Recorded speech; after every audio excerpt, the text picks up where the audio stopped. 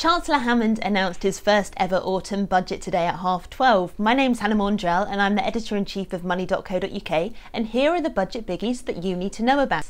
The, the change that will impact most of us is the Chancellor's plans to increase the amount we can earn before we pay tax from next April.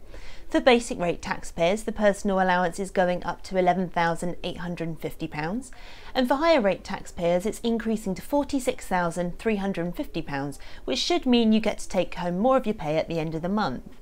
It's not the sexiest change ever, but it is the one that will have the biggest impact on most of our bottom lines. The Chancellor's big announcement today was on stamp duty for first time buyers. If you're looking to buy your first property, you won't have to pay stamp duty if the house you're buying is under £300,000.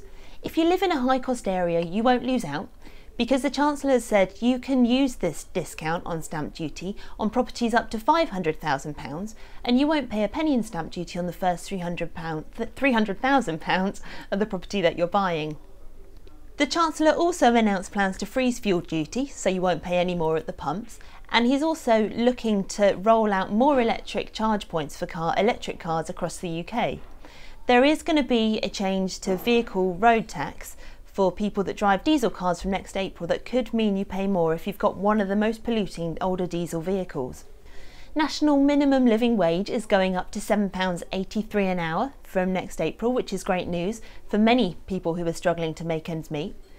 If you do get the national minimum living wage at the moment, make sure your boss knows about the increase so that you make sure you get it in your pocket.